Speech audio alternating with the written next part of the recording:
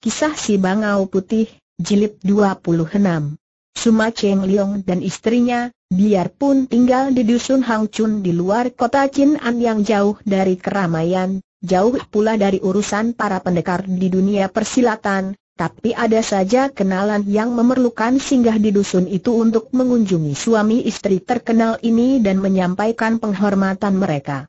Oleh karena itu, berita tentang gerakan orang-orang Kengou yang memberontak di perbatasan utara, dipimpin oleh Siang Koan Lohan sebagai ketua Tiat Liong Pang, dapat pula mereka dengar dan hal ini mengejutkan hati mereka. Sungguh mengherankan sekali berita itu, kata Sumat Cheng Liong kepada Kam Bieng, istrinya. Padahal, sudah lama nama Siang Koan Tek atau Siang Koan Lohan sebagai ketua Tiat Liong Pang amat terkenal. Perkumpulan itu bahkan pernah berjasa terhadap pemerintah Manchu, dan kalau tidak salah, aku pernah mendengar bahwa Siang Koan Lohan dihadiahi seorang puteri dari keluarga kaisar untuk menjadi istrinya. Bagaimana sekarang tersiar berita bahwa dia memimpin orang-orang Kang Ou untuk mengadakan pemberontakan? Sungguh aneh. Hal seperti itu mungkin saja terjadi, berkata istrinya. Bagaimanapun juga, sebagai seorang pendekar yang gagah, tentu Lohan juga merasa kurang puas melihat betapa bangsa dan tanah air dijajah oleh orang-orang Manchu. Kalau sekarang dia mengadakan gerakan perjuangan untuk menentang pemerintah penjajah, apakah anehnya hal itu?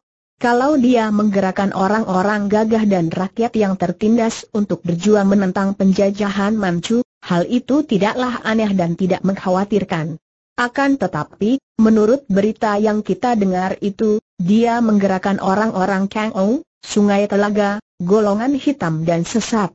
Ini amat berbahaya karena perjuangan itu jelas bukan demi rakyat, bukan untuk bangsa dan tanah air, melainkan mengandung pamrih untuk golongan itu dan celakalah rakyat jelata kalau hal itu terjadi.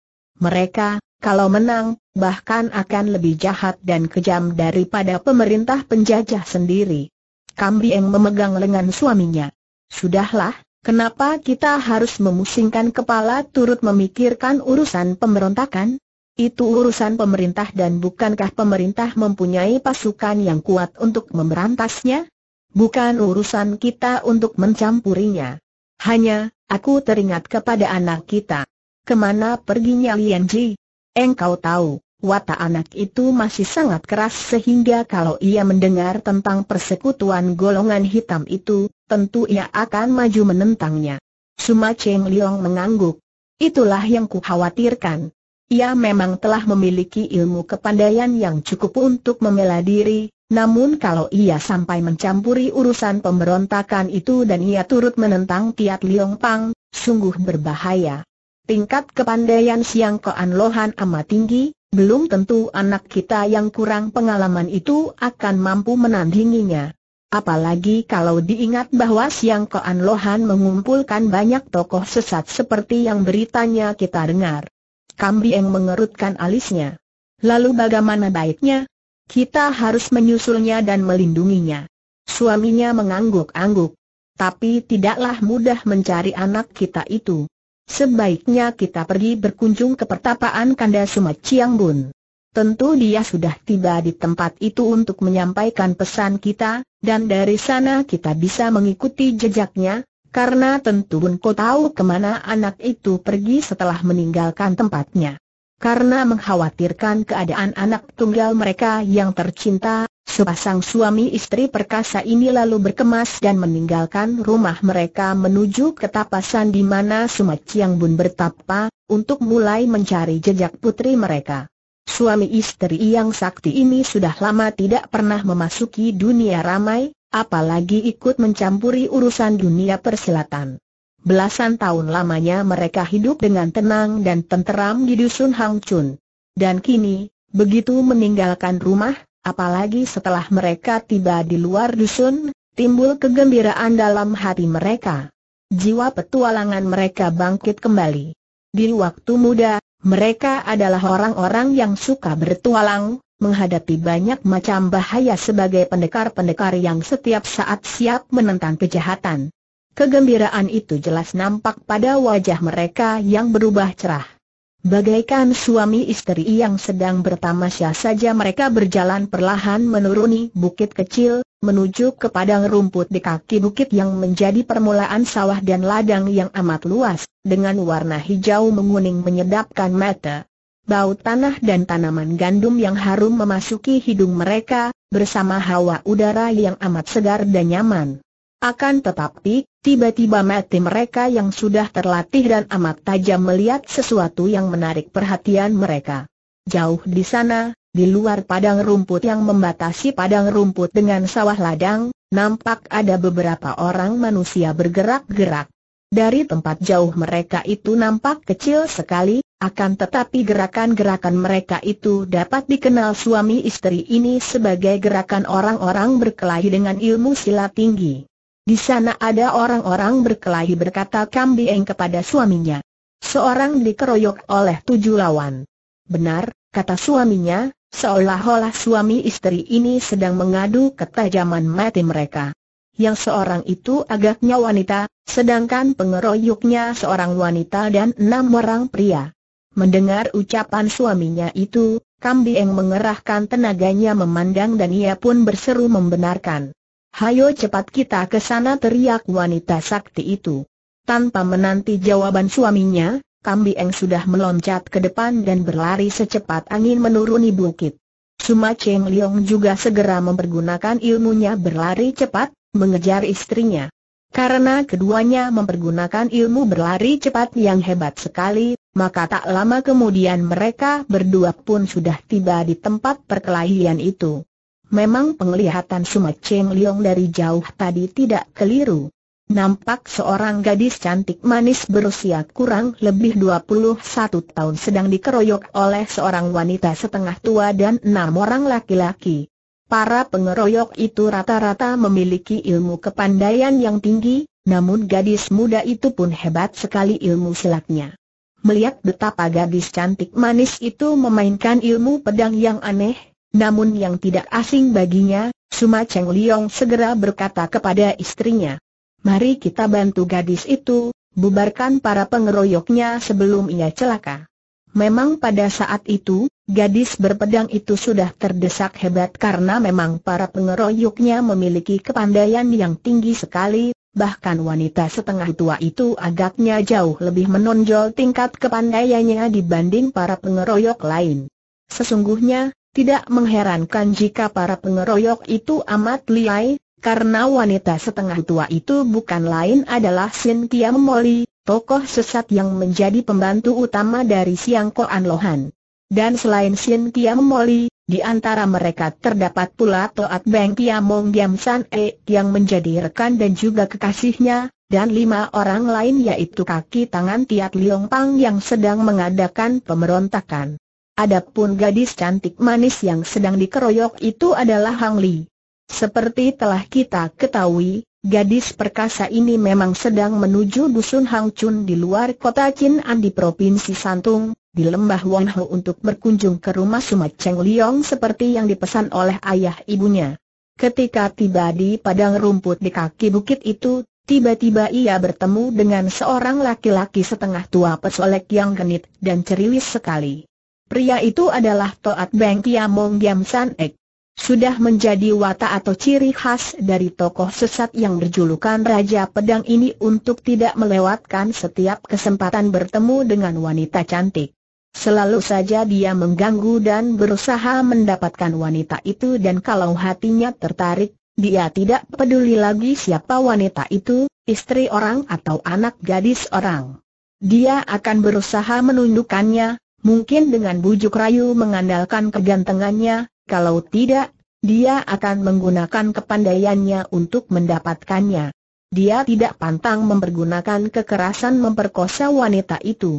Melihat seorang gadis melakukan perjalanan seorang diri di tempat sunyi itu, apalagi gadis itu cantik manis sekali, segera hati Giam San Ek terpikat dan ia pun menghadang sambil cengar cerigir menyeringai untuk memikat.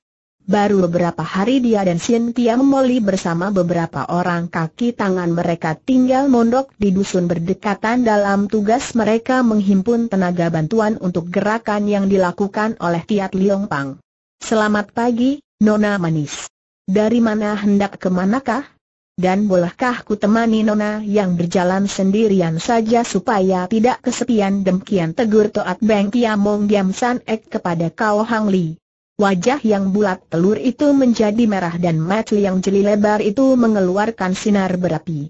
Hang Li adalah seorang gadis yang cantik dan manis sekali dan sudah lama melakukan perjalanan seorang diri, maka sudah tidak aneh baginya melihat sikap pria yang mencoba untuk menggodanya. Dan setiap kali digoda pria secara kurang ajar, dia pasti turun tangan menghajar pria yang sama sekali tidak menyangka bahwa dia berhadapan dengan seorang pendekar wanita yang lihai sekali. Kini melihat sikap pria setengah tua yang amat ceriwis itu, Hang Liang juga pandai bicara lalu tersenyum simpul, menahan kemarahannya yang membuat kedua pipinya kemerahan itu. Hem, orang tua, pernahkah engkau bercermin? Melihat gadis itu tersenyum simpul yang membuat wajahnya makin manis, dan melihat kedua pipi yang halus itu kemerahan yang disangkanya gadis itu malu-malu kucing, Giam San Ek tidak marah mendengar gadis itu menyebutnya orang tua. Dia meraba rambutnya, dan meneliti pakaiannya apakah ada yang kusut, lalu menjawab. Tentu saja, Nona manis. Aku selalu membawa cermin ke mana pun aku pergi. Lihat dan seperti bermain sulap saja, tangan kirinya yang bergerak itu telah mengeluarkan sebuah cermin kecil dari saku bajunya. Melihat betapa ucapannya tadi itu dianggap benar-benar dan orang itu benar-benar pula mengeluarkan sebuah cermin, Kau Hang Li tak dapat menahan ledakan ketawanya. Hem, manusia tak tahu diri. Kalau engkau sering bercermin, apakah engkau belum juga melihat betapa engkau ini sudah tua? Akan tetapi engkau masih pesolek, genit dan suka menggoda gadis muda seperti aku. Tidak malukah engkau? Mana mungkin orang macam Giam San Ek memiliki perasaan malu? Teguran Hang Li ini hanya dianggapnya main-main saja, bahkan disangka sebagai tanda bahwa gadis itu menanggapi godaannya. Hahaha, nona manis. Betapapun tuanya seorang laki-laki, kalau melihat gadis manis sepertimu ini, siapa yang tidak menjadi tergila-gila? Hayolah, tak usah malu-malu, mari ikut dengan aku bersenang-senang berkata demikian, Toat Beng Kiamong Giam San Ek mengulurkan tangannya untuk mencubit dagu gadis itu. Tentu saja Kau Hang Li menjadi marah melihat sikap orang ini makin berkelanjutan, bahkan makin berani hendak mencolek dagunya. Dengan mudah ia mengelak dengan mundur selangkah, dan tangannya menampar keras sekali ke arah muka orang. Giam San Ek sama sekali tidak mengira bahwa gadis manis itu berani menamparnya, maka ia cepat mengelak. Akan tetapi karena memandang rendah, dia bergerak kurang cepat sehingga walaupun mukanya tidak kena ditampar, pundaknya masih terserempet ujung tangan gadis itu. Dia terkejut, baru tahu betapa tamparan itu mengandung tenaga yang sangat kuat, maka dia pun melangkah mundur sambil memandang dengan alis berkerut. Eh haha, engkau hendak membalas keramahan orang dengan pukulan bentaknya, kini kurang ramah keramahanmu hanyalah kekurang ajaran, dan aku adalah seorang gadis yang tidak sudi kau permainkan. Pukulanku adalah pukulan untuk menghajar laki-laki kurang sopan macam kalian ini dan sekarang kau Hang Li sudah menerjang ke depan, mengirim tamparan bertubi-tubi. Gerakannya tentu saja cepat dan kuat sekali. Toat Beng Kiamong Giam San Ek mengelak dan menangkis dua kali. Duk! Plak! Pertemuan dua tangan mereka membuat keduanya terkejut. Hang Li juga kaget karena ternyata dalam tangkisan tangan lawan itu terkandung tenaga sinkang yang amat kuat, sedangkan Giam San Ek tentu saja kaget sekali karena pertemuan lengan itu membuat tubuhnya hampir terjengkang kalau saja dia tidak dapat meloncat ke belakang. Kini dia memandang gadis itu penuh perhatian, dan baru tahu bahwa dia berhadapan dengan seorang gadis yang memiliki ilmu silat tinggi dan tenaga dalam yang kuat. Ahaha, kiranya engkau memiliki sedikit kepandaian, pantas sikapmu jual mahal bentak Giam San Ek dan dia pun sudah menerjang lagi dengan cepat dan ganas, menyerang dengan sungguh-sungguh, bukan sekedar ingin memegang atau mencolek. Akan tetapi, Sekali ini dia kecelik dan bukan hanya gadis itu mampu menghindarkan diri dari semua terkamannya, bahkan membalas tidak kalah dahsyatnya sehingga membuat Toat Beng Kiamung itu terdesak mundur. Kalau dilanjutkan perkelahian tangan kosong itu, tentu dia akan kalah, karena Kau Hang Li adalah cucu pendekar naga sakti gurun pasir, ahli silat tangan kosong dengan ilmu silat Sin Leong Chiang Hoat, dan juga istrinya ahli silat tangan kosong Hontok Chiang, silat tangan selaksa racun. Kedua ilmu silat ini telah diwarisi Hang Li dari ayahnya, yaitu Kao Chin Leong. Juga dari ibunya, cucu pendekar super sakti Pulau Es gadis bermata lebar ini telah mewarisi ilmu-ilmunya. Maka, tidaklah mengherankan kalau Toat Beng Kiamong Giam San Ek terdesak hebat setelah mereka berkelahi selama belasan jurus saja. Singa. Nampak sinar berkelebat ketika Giam San E yang berjuluk Raja Pedang Pencabut Nyawa itu menghunus pedangnya dan mengelebatkan pedang itu di depan tubuhnya. Melihat ini, Hang Li juga mencabut pedangnya. Giam San E yang berwatak tekebur itu tertawa mengejek, memandang rendah. Hahaha, nona manis. Dengan tangan kosong memang aku sama sekali tidak berhasil mengalahkanmu, akan tetapi ketahuilah dengan siapa engkau berhadapan. Aku Giam San Ek, terkenal dengan julukan Toat Beng Kiamong, Raja Pedang Pencabut Nyawa, sungguh sangat disayangkan bahwa seorang gadis jelita seperti engkau terpaksa harus tercabut nyawanya oleh pedangku. Tak perlu banyak cakap, lihat pedangku bentak Hang Li dan ia pun sudah memutar pedangnya dan menyerang dengan dahsyatnya. Haait! Dengan lagak mengejek Giam San Ek menangkis serangan, membuat putaran dengan pedangnya dan membalas dengan tusukan ke arah dada Hang Li. Akan tetapi, gadis itu bukan hanya tangguh dalam ilmu silat tangan kosong, juga dia sangat lihai dengan pedangnya. Dia memainkan bantok Kiam Sut dan biarpun ilmu pedang ini paling tepat dimainkan dengan pedang bantok Kiam milik neneknya, akan tetapi dengan pedang di tangannya pun yang tidak beracun, ilmu pedang itu tetap hebat. Kalau tadinya Giam San Ek masih mengejek dan memandang rendah, makin lama dia menjadi makin kaget mendapat kenyataan betapa lihainya gadis itu dengan pedangnya. Apalagi mencari kemenangan dengan mudah, baru mempertahankan dirinya agar tidak sampai terkena pedang lawan saja sudah merupakan hal yang tidak mudah baginya. Bahkan makin lama si Raja Pedang yang sombong ini menjadi semakin terdesak.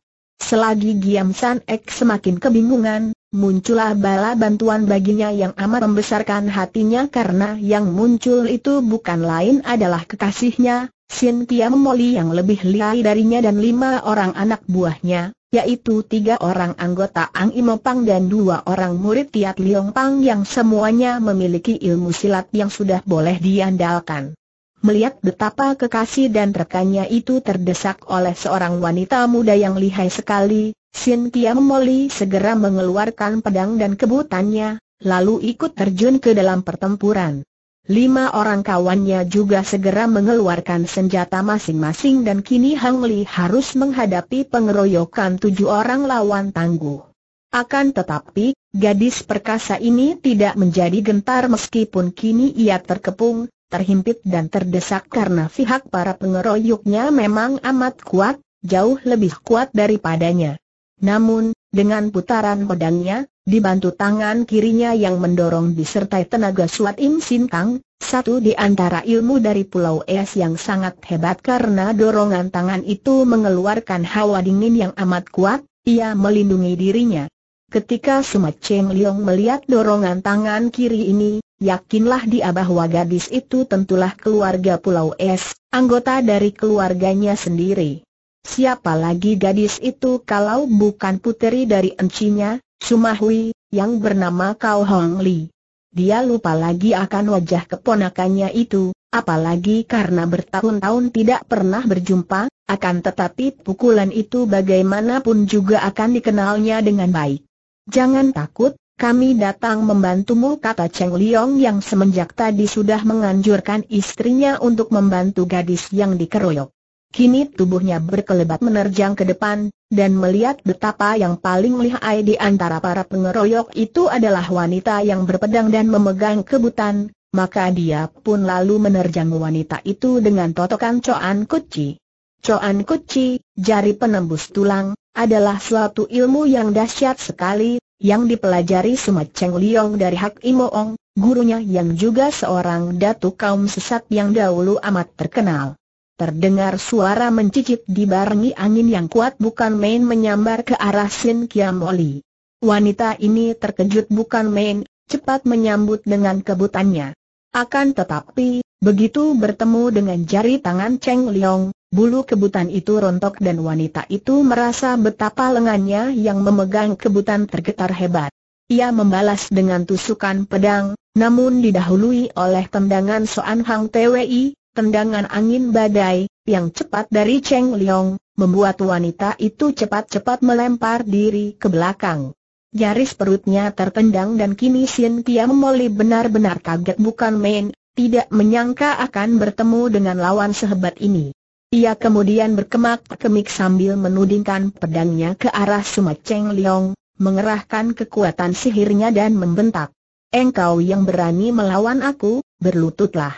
Akan tetapi laki-laki tinggi besar yang gagah perkasa itu malah tertawa bergelak. Tentu saja sihir itu tidak dapat mempengaruhi Cheng Liong karena pendekar ini pun telah mempelajari ilmu sihir dari ibunya sendiri, yaitu mendiang nenek Peng Xiangen.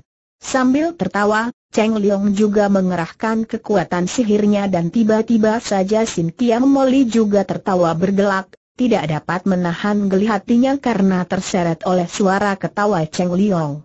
Sambil tertawa, Cheng Liong sudah melakukan gerakan-gerakan mendorong dengan dua tangannya silih berganti, yang kanan dengan HWI yang Sin Kang mengeluarkan hawa panas, dan yang kiri mengeluarkan hawa dingin dengan Suat Im Sin Kang. Sin Kiam Moli sedang terkejut bukan main karena melihat dirinya tertawa tanpa dapat dikuasainya. Cepat dia mengerahkan tenaga untuk melawan pengaruh tawa itu. Dan pada saat itu, Lawannya sudah menyerangnya dengan dua ilmu yang hebat dari Pulau Es tentu saja ia menjadi kaget bukan main dan hanya dengan melempar tubuh ke belakang kemudian bergulingan saja, wanita ini dapat terhindar dari pukulan lawan yang dahsyat. Sementara itu, Kambieng juga sudah mencabut suling emasnya dan kini suling itu mengaung-ngaung ketika ia mainkan ilmu pedang gabungan antara Kuai Long Kiam Sut dan Kim Xiao Kiam Sut. Ilmu ini pun merupakan satu di antara ilmu-ilmu tertinggi pada waktu itu, dan yang diserang oleh Kambi Eng adalah Toat Beng Kiamong Giam San Ek. Orang ini terkejut, mencoba untuk memutar pedangnya. Akan tetapi tangkisannya tidak dapat menahan suling itu yang terus menerobos di antara sinar pedangnya sehingga mengancam ulu hatinya. Giam San Ek berteriak kaget dan melempar tubuh ke samping, lalu meloncat agak jauh dengan keringat dingin membasahi tubuhnya. Nyaris dia celaka oleh suling wanita cantik dan gagah itu. Meski ia pangling dan tidak mengenal suami istri perkasa yang datang membantunya, akan tetapi begitu menyaksikan gerakan-gerakan mereka, apalagi melihat Kambi yang memainkan suling emas, Kak Hang Li segera dapat menduga siapa adanya mereka. Paman Leong dan Bibi Eng, Terima kasih kalian sudah datang membantuku teriaknya dan tendangan-tendangannya langsung membuat kelima orang pengeroyoknya menjadi kalang kabut. Sin Kiam Moli dan Toat Beng Kiamong adalah dua orang yang cerdik dan licik. Melihat kehebatan musuh, mereka berdua tanpa banyak cakap lagi lalu melarikan diri, diikuti oleh lima orang anak buah mereka yang juga menjadi ketakutan. Kak Hang Li meloncat untuk mengejar, akan tetapi Sumat Cheng Liong mencegahnya. Musuh yang lari jangan dikejar kata pendekar ini. Dia maklum betapa lihainya lawan, dan tentu licik sekali sehingga mengejar mereka amatlah berbahaya.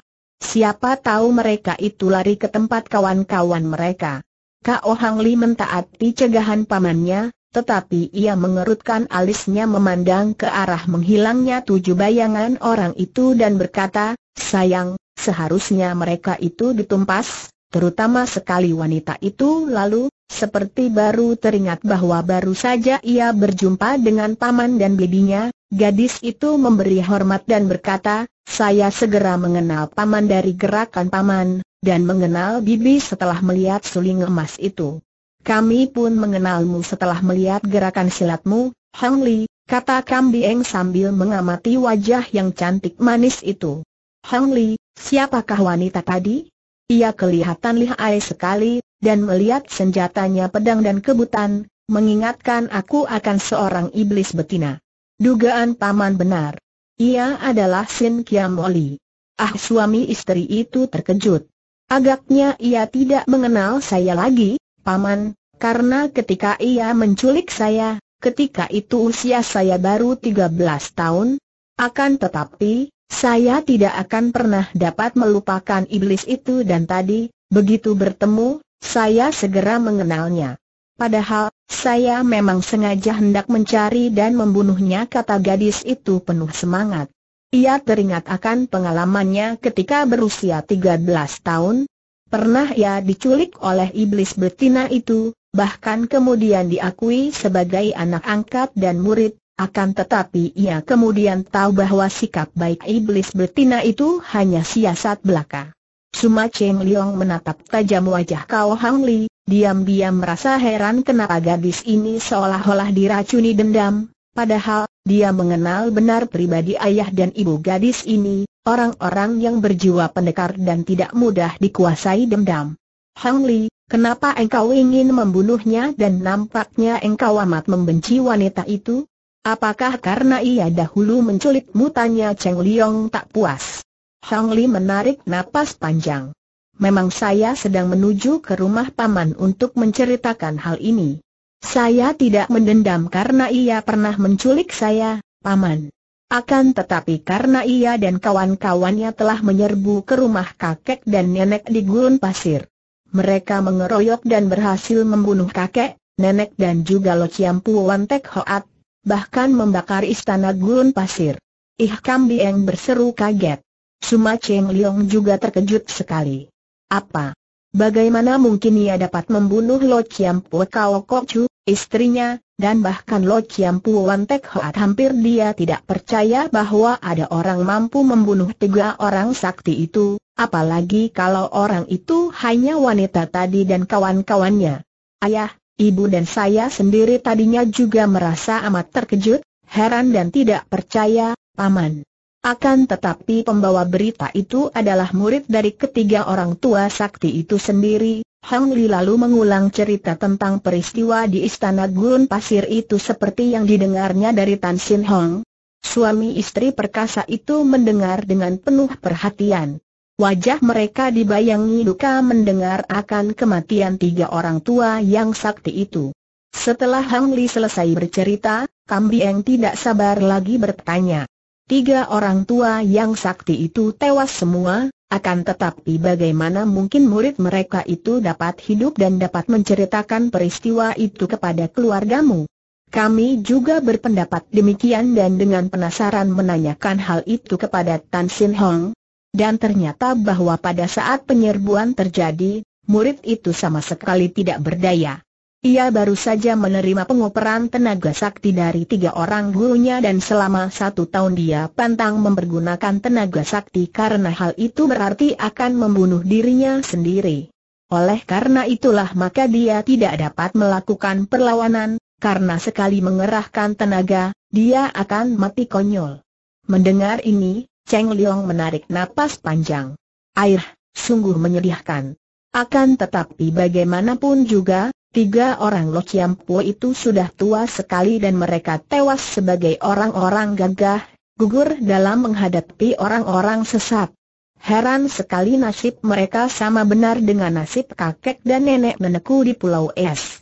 Gugur dalam menghadapi penyerbuan tokoh-tokoh sesat. Sekarang aku paham. Tentu setelah mengoper tenaga sakti kepada murid mereka itu, Ketiga orang Lo Po itu mengalami kekurangan tenaga dan pada saat itu, para tokoh sesat datang menyerbu. Bagaimanapun juga, hampir semua penyerbu itu tewas, dan ini membuktikan bahwa ketiga orang Lo Po yang sudah berusia tinggi sekali itu memang masih luar biasa hebat. Nyawa manusia di tangan Tuhan. Kalau Tuhan sudah menghendaki, maka ada saja penyebab kematian seseorang. Kita tidak mungkin dapat mengelakkan kehendak Tuhan. Beruntung sekali bahwa saya dapat bertemu dengan Jiwi di sini sehingga bukan saja paman dan bibi dapat menyelamatkan saya dari tangan orang-orang jahat itu, tetapi juga saya tidak kecelik berkunjung ke rumah paman dan bibi yang kosong. Sebenarnya, ke manakah paman dan bibi hendak pergi, maka kebetulan berada di sini? Kami memang sengaja meninggalkan rumah karena sudah mendengar akan gerakan pemberontakan yang kabarnya dilakukan oleh Tiat Liong Pang dibantu oleh para tokoh sesat. Karena anak kami Sumalian juga sedang merantau, maka kami merasa sangat khawatir dan ingin mencarinya. Ahaha, Paman. Kebetulan sekali belum lama ini saya bertemu dengan adik Sumalian.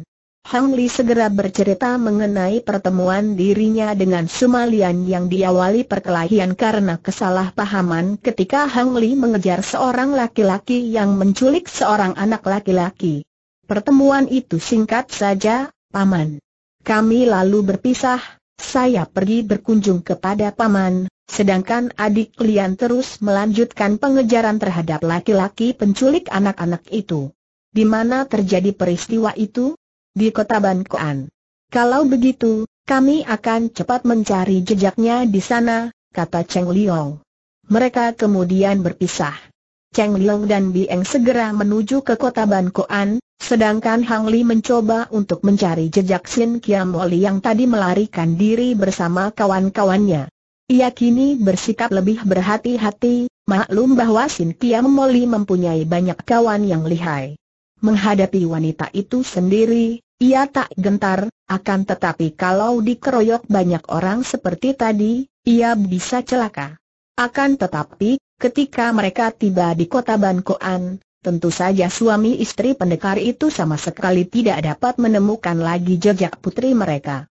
Tiada seorang pun tahu tentang Sumalian, apalagi mengenai penculik anak-anak, oleh karena memang kedua orang ini meninggalkan kota itu secara diam-diam, di waktu malam pula. Dari tempat ini, Suma Cheng Liong dan Kam Bieng lalu pergi ke pegunungan Tapasan untuk mengunjungi pondok tempat tinggal Suma Chiang Bun. Sebelum pergi, Suma Lian telah mereka pesan untuk berkunjung ke rumah pamannya itu dan membujuk Suma Chiang Bun yang hidup sebatang kere untuk tinggal bersama mereka di Dusun Hang Chun tentu Suma Chiang Bun akan dapat memberi keterangan ke mana selanjutnya putri mereka itu pergi setelah berkunjung ke sana. Dugaan mereka yang juga menjadi harapan mereka memang tidak keliru. Di tempat kediaman Suma Chiang Bun, mereka memperoleh keterangan yang banyak. Suma Chiang Bun menyambut mereka dengan gembira sekali dan pendekar ini merangkul adiknya dengan sepasang mata basah. Dia telah merasa rindu sekali kepada Sumat Cheng Liong dan pertemuan ini sungguh membuat dia terharu dan juga gembira. Bagaimana, Bunko, engkau tentu sehat-sehat saja, bukan? Engkau nampak sehat dan segar. Engkau juga semakin gagah saja, Liong Te. Dan istrimu ini juga semakin gagah dan cantik kata Sumat Chiang Bun. Kambi Eng tertawa, mukanya berubah agak kemerahan. Ah, Bun Koko ini bisa saja. Orang sudah semakin tua, mana mungkin semakin cantik? Seorang anak laki-laki muncul. Usianya baru tujuh tahun lebih, tetapi keadaan anak ini sungguh mengagumkan hati Sumat Cheng Liong dan Kam Eng. Anak itu mempunyai wajah yang tampan dengan sepasang mata yang tajam bersinar penuh semangat dan keberanian, juga mengandung kecerdikan. Ah, Bunko telah memiliki seorang murid yang baru? Dia baik sekali, Bunko. Suma Chiang Bun tersenyum. Anak ini hanya titipan, yang menitipkannya di sini adalah putri kalian. Tentu saja suami istri itu terkejut dan girang sekali. Sumalian, anak kami keduanya hampir berbareng bertanya. Suma Chiang Bun mengangguk, kemudian dia mengajak mereka semua duduk di dalam pondoknya yang tidak besar namun karena mempunyai banyak jendela maka terbuka dan sejuk hawanya. Lalu dia menceritakan tentang kunjungan Sumalian dan Tan Sin Hang dan tentang Yohan yang dititipkan kepadanya oleh dua orang muda itu. Bunko, apakah yang kau maksudkan Tan Sin Hang murid dari istana Gun Pasir itu? Tanya Cheng Liong memotong cerita kakaknya. Benar, engkau sudah mendengar akan malapetaka yang terjadi di sana? Sudah, dari kau Hang Li yang kami jumpai di jalan. dan tahukah Hengka siapa anak ini? Anak ini adalah putra dari Chiong Siu KWI dan suaminya, Yojin, kata Suma Chiang Bun. Chiong Siu KWI. Di, Suma Cheng Liong yang tadinya hendak mengatakan BKWI, menahan ucapannya teringat akan kehadiran anak itu.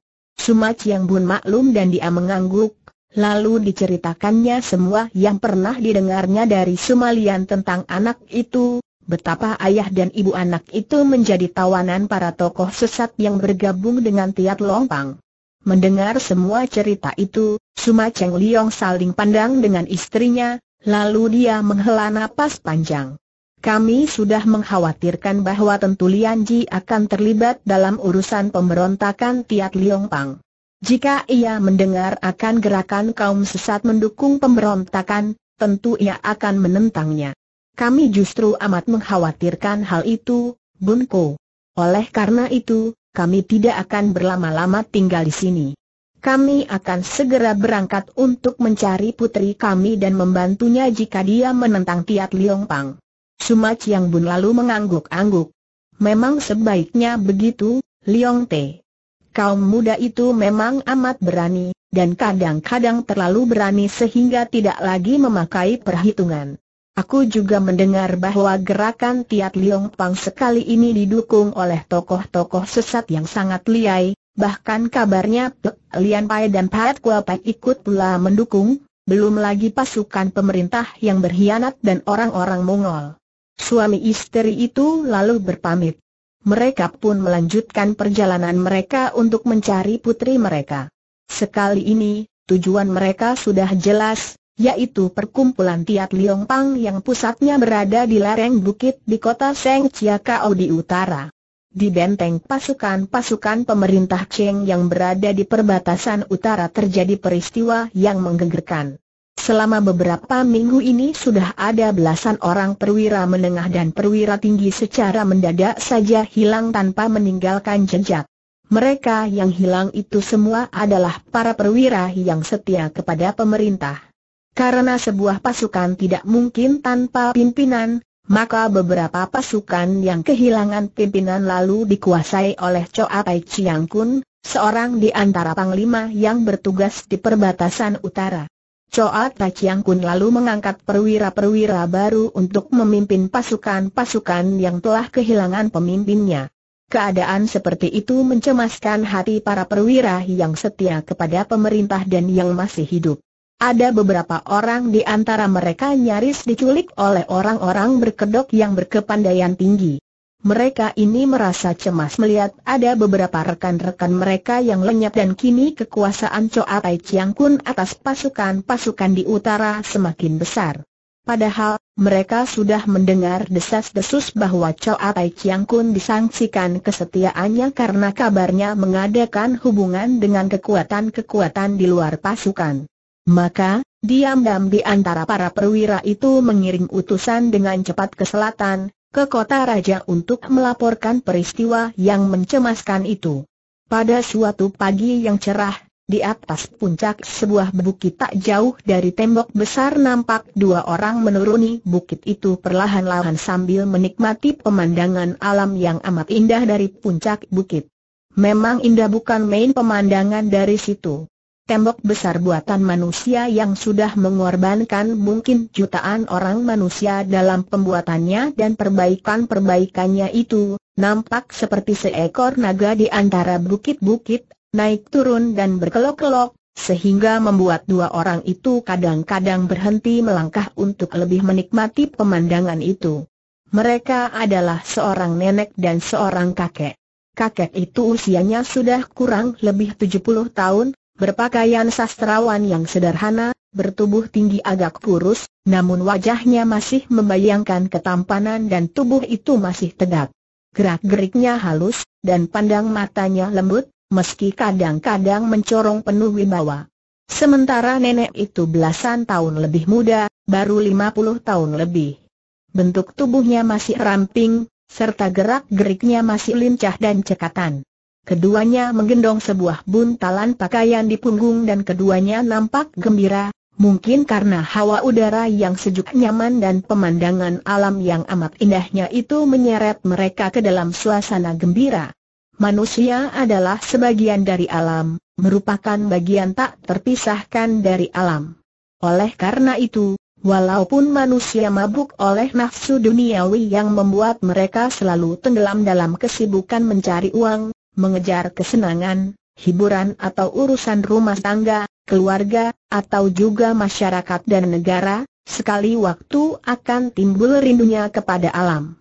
Dan setelah manusia jenuh daripada segala keduniawian dengan tata kehidupan yang serba mengejar kesenangan ini, misalnya dia berada di tepi samudera atau di puncak bukit, dia akan tenggelam ke dalam kesyahduan alam, ke dalam keheningan yang amat menghanyutkan, yang mendatangkan ketenangan dan kedamaian di dalam batin timbul suatu pertanyaan masing-masing, dalam batin masing-masing, yaitu, dapatkah kita bebas daripada segala kebisingan pikiran sewaktu kita berada di dalam masyarakat ramai sehingga kita memperoleh keheningan ketenangan dan kedamaian seperti kalau kita berada seorang diri di puncak gunung atau di tepi samudera? Biarpun kakek dan nenek itu kelihatan seperti orang-orang biasa saja, namun kalau ada yang mengenal mereka, tentu si pengenal akan terkejut sekali mendapatkan mereka berdua di situ. Mereka bukanlah orang biasa, melainkan pasangan pendekar sakti yang pernah menggemparkan dunia persilatan dengan ilmu mereka yang tinggi. Kakek itu bernama Kam Hong, Puluhan tahun yang lalu ia pernah menggegerkan dunia persilatan dengan ilmunya yang sangat tinggi dan dijuluki pendekar suling emas karena ilmunya mengingatkan dunia persilatan akan kehebatan ilmu pedang yang dimainkan dengan suling dari seorang pendekar ratusan tahun yang lalu yang juga berjuluk suling emas, baka kisah suling emas naga seluman. Adapun nenek itu adalah istrinya yang juga merupakan seorang pendekar wanita yang tinggi ilmunya, bernama Bu Cisian. Istrinya ini, yang belasan tahun lebih muda dari Seng suami, juga masih sumoy dari suaminya itu, karena mereka berdualah yang telah menemukan kitab ilmu yang amat tinggi dan keduanya mempelajari ilmu itu. Di samping ilmu memainkan suling emas, juga nenek Bu Cisian ini memiliki ilmu menaklukkan ular, dan di samping itu, juga pernah menerima gemblengan ilmu gabungan Sin Kang Im dan yang dari pendekar Sumakian Bu, putra pendekar super sakti Pulau Es sudah puluhan tahun kedua suami istri ini tak pernah terjun ke dunia persilatan, hidup aman tenteram di istana kuno yang dulu pernah menjadi pusat perkumpulan Hong Sim Kai Pang, yaitu di puncak Bukit Nelayan di pegunungan Tai Hang San, sebelah selatan kota Pao Teng. Bagaimana kini mendadak suami istri tua yang sakti itu bisa berada di pegunungan utara dekat tembok besar? Sebulan yang lalu, Nenek Bu Cisian merasa rindu sekali kepada putrinya, yaitu Kambieng yang sudah menjadi istri Sumat Cheng Liong. Juga dia ingin sekali melihat dunia luar setelah bertahun-tahun berdiam di rumah saja. Ia lalu mengajak suaminya untuk meninggalkan istana tua itu dan berkunjung ke tempat kediaman putri mereka di Dusun Hang Chun. Akan tetapi, setelah sampai di tempat itu, Ternyata Sumat Cheng Liong dan Kam Bieng tidak berada di rumahnya dan menurut keterangan para pembantu rumah tangga, suami istri itu meninggalkan rumah untuk pergi mencari Nona Sumalian yang telah pergi lebih dahulu dari rumah. Para pembantu rumah tangga itu tidak dapat memberi keterangan ke mana majikan mereka pergi. Kakek dan nenek itu tentu saja merasa kecewa dan mereka hanya tinggal semalam saja di rumah putri mereka yang kosong mereka telah mendengar berita tentang gerakan Tiat Liong Pang yang dibantu oleh banyak tokoh sesat, maka kakek Kam Hang menduga bahwa tentu putri, mantu dan cucu mereka itu pergi ke sana untuk menentang gerakan kaum sesat. Maka, mereka berdua lalu pergi ke utara untuk melihat-lihat keadaan dan mencari putri dan menantu mereka. Di sepanjang perjalanan mereka mencari keterangan dan makin kuat dugaan mereka bahwa putri mereka tentu pergi ke utara setelah mendengar bahwa memang banyak pendekar yang melakukan perjalanan ke utara sehubungan dengan berita gerakan kaum sesat di utara yang dipimpin oleh Tiat Liong Pang itu. Demikianlah, pada pagi hari itu, kakek Kam Hang dan nenek Bu Cisian tiba di puncak bukit, menuruni bukit sambil menikmati pemandangan alam yang amat indah, kadang-kadang berhenti dan memandang keempat penjuru dengan penuh kagum. Eh, lihat di sana itu tiba-tiba nenek itu berseru sambil menuding ke arah selatan, ke bawah. Bukankah itu sebuah kereta? Kakek Kam Hang cepat memandang ke arah yang ditunjuk istrinya dan mengamati. Benar, sebuah kereta dikawal oleh belasan orang. Dan para pengawal itu mengenakan pakaian seragam sambung Buci Sian. Juga di kereta itu ada benderanya, tidak jelas dari sini, akan tetapi seperti bendera tanda pangkat. Agaknya orang berpangkat yang duduk di dalam kereta itu. Hi, lihat. Dari sebelah kanan itu, dua orang itu seperti hendak menghadang kereta. Sian Cai. Benar katamu, dan lihat, mereka sudah bertempur kata kakek Kam Hong. Ah, Dua orang itu bukanlah lawan para pengawal, mari kita cepat ke sana untuk melihat apa yang telah terjadi. Kakek dan nenek itu bagaikan terbang cepatnya menuruni bukit dan berkat ilmu berlari cepat mereka yang tinggi, tak lama kemudian mereka tiba di tempat pertempuran. Ketika mereka tiba di tempat itu, belasan orang berpakaian seragam telah rebah malang melintang tanpa nyawa lagi hanya tinggal empat orang berpakaian perwira yang masih terus melindungi kereta itu. Dengan pedang di tangan, keempat orang itu repot sekali melindungi dirinya di depan kereta, menahan serangan-serangan seorang pemuda yang juga memainkan pedang, tetapi permainan pedangnya sedemikian hebatnya sehingga empat orang perwira itu terdesak hebat dan agaknya takkan lama lagi mereka dapat bertahan.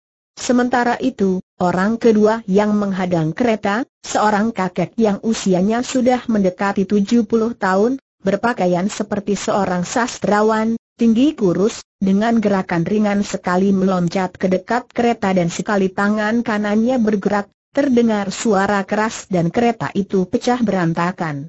Dua ekor kudanya yang terkejut meronta lepas dan melarikan diri. Dari dalam kereta meloncat keluar seorang laki-laki berusia sekitar 50 tahunan, berpakaian sebagai seorang panglima besar dengan tanda pangkatnya di pundak dan dada. Dengan gerakan cukup sigap panglima ini meloncat turun sehingga dia tidak ikut terbanting dengan pecahnya kereta. Melihat panglima itu, sastrawan tua tersenyum mengejek sambil mengeluarkan sebuah kipas dan mengipasi tubuhnya. Hem, Kiranya engkau yang disebut Panglima Besar Liu, yang datang dari kota raja untuk menyelidiki keadaan di benteng utara? Jangan harap akan dapat menyelidiki apa pun, karena engkau akan mati di sini seperti yang dialami anak buahmu. Nah bersiaplah untuk mati. Panglima besar yang bertubuh tinggi besar itu tidak kelihatan takut, bahkan mencabut pedangnya, bersiap untuk membela diri sedapat mungkin biarpun dia tahu bahwa bela dirinya tidak akan ada gunanya, melihat betapa para pengawalnya yang lihai saja kini nampak repot menghadapi penyerang muda itu. Bagus, kini aku mengerti mengapa terjadi gegar di benteng utara dan banyak perwira kami yang kabarnya lenyap diculik orang. Kiranya ada musuh yang sengaja bersekutu dengan pengkhianat dan kalau aku tidak keliru, Tentu engkau ini yang disebut Oh Yang Sian Seng atau Nam San Sian Jin seperti yang sudah dikabarkan oleh orang-orang kami. Engkau sudah bersekutu dengan Tiat Liong Pang untuk mengadakan pemberontakan, dan membujuk beberapa orang panglima dan perwira kami untuk berkhianat. Oh Yang Sian Seng menudingkan kipasnya. Tidak keliru, Liu Tachiang Kun. Sekarang bahkan tiba giliranmu untuk mati di tanganku. Tahan tiba-tiba nampak dua bayangan orang berkelebat. Tahu-tahu di depan Ouyang Sian Seng telah berdiri seorang kakek tua yang bukan lain adalah Kam Hang sedangkan Bu Chi Sian berkelebat ke arah pemuda yang mendesak empat orang pengawal itu, mengelebatkan suling emasnya. Nampak sinar terang sekali dan disusul suara berdentang nyaring ketika pedang yang dipergunakan oleh Siang Kuan Leong untuk mendesak empat orang lawannya itu bertemu dengan sinar kuning emas. Siang Kuan Leong terkejut dan meloncat mundur ketika merasa betapa benturan senjata itu membuat tangan kanannya tergetar hebat. Maklum bahwa ada lawan tangguh yang muncul, Siang Kuan Leong cepat menghampiri gurunya. Muci Sian juga menghampiri suaminya dan kini suami istri tua itu berdiri berhadapan dengan Owi Yang Sian Seng dan Siang Kuan Leong.